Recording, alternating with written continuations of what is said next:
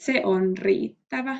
Sinä olet tarpeeksi hyvä, sinä olet riittävä ja hyväksyt itsesi just sellaisena kuin sä oot, keskeneräisenä, mutta paradoksi täydellisenä. Me ollaan kaikki yhtä lailla keskeneräisiä ja täydellisiä samaan aikaan. Nämä on näitä hauskoja universaalin paradoksaalisia lakeja.